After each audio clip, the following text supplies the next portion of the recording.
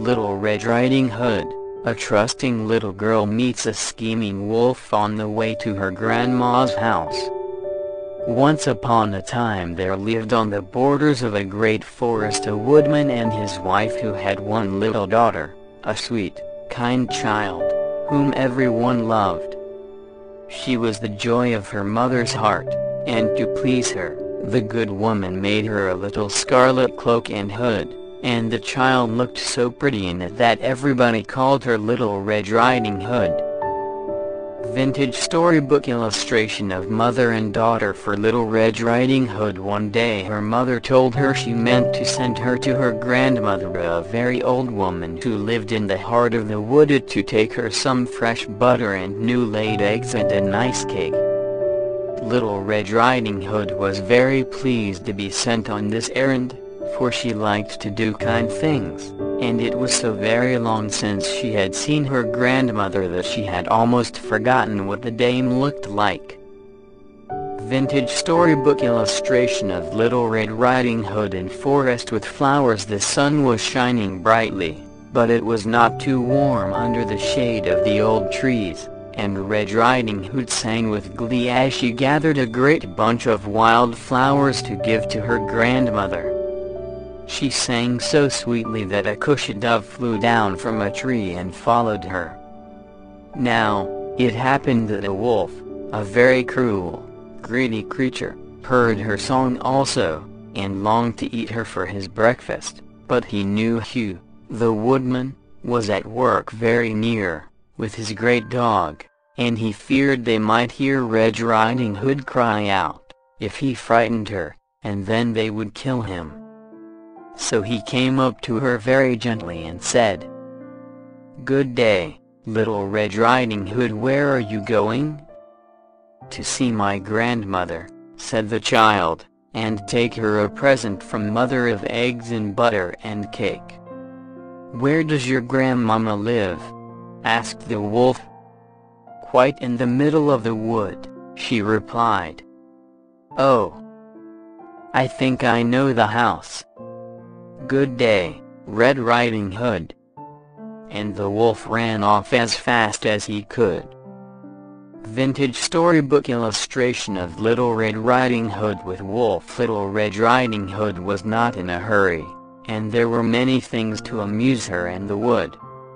She ran after the white and yellow butterflies that danced before her, and sometimes she caught one, but she always let it go again for she never liked to hurt any creature. Vintage storybook illustration of Little Red Riding Hood walking in forest with basket and then there were the merry, cunning little squirrels to watch, cracking nuts on the branches of the old trees, and every now and then a rabbit would hurry away through the tall ferns, or a great bee come buzzing near her, and she would stop to watch it gathering honey from the flowers and wild thyme.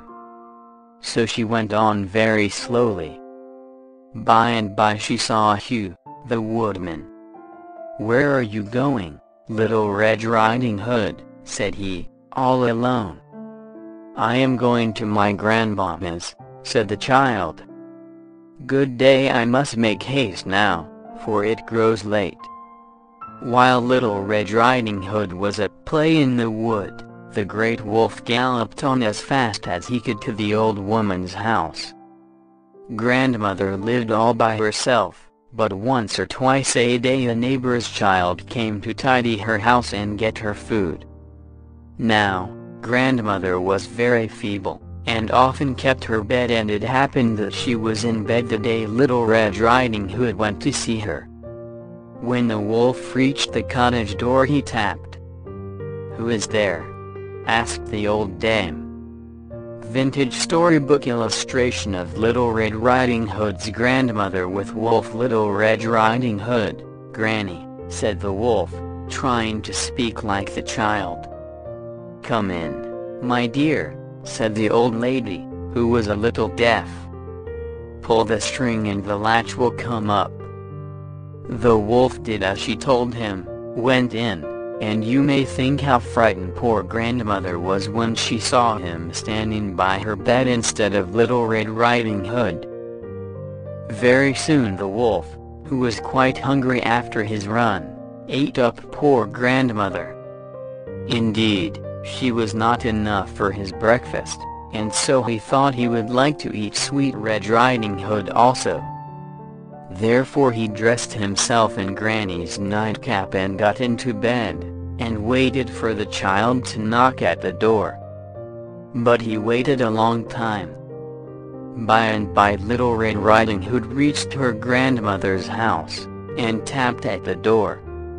Vintage storybook illustration of Little Red Riding Hood knocking at grandmother's door Come in, said the wolf, in a squeaking voice. Pull the string, and the latch will come up. Red Riding Hood thought grandmother must have a cold, she spoke so hoarsely but she went in at once, and there lay her granny, as she thought, in bed. If you please, grandmama, mother sends you some butter and eggs, she said. Come here, dear, said the wicked wolf, and let me kiss you, and Red Riding Hood obeyed vintage storybook illustration of Little Red Riding Hood and Wolf in grandmother clothing but when Red Riding Hood saw the wolf she felt frightened.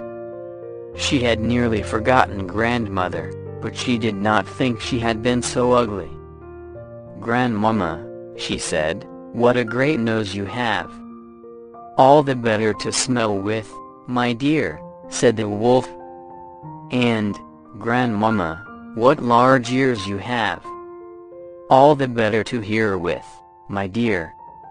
Ah, grandmama, and what large eyes you have. All the better to see with, my dear, said the wolf, showing his teeth, for he longed to eat the child up. Oh, grandmama, and what great teeth you have, said Red Riding Hood.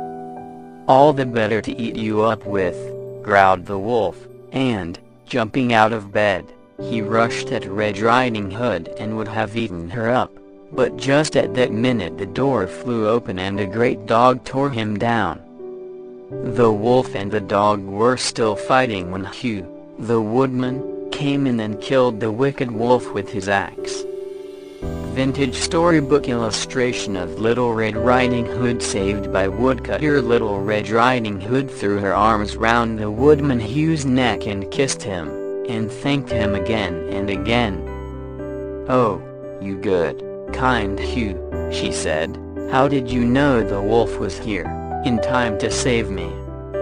Well, said Hugh, when you were gone by, I remembered that a wolf had been seen about the wood lately and I thought I would just come after you and see if you were safe. When we came near grandmother's house my dog Trim sniffed and ran to the door and whined, and then he pushed it open you had not shut it closely and rushed in, and I followed him, and between us we have killed the wolf. Then Hugh took the child home, and her mother and father could not thank him enough for saving Little Red Riding Hood.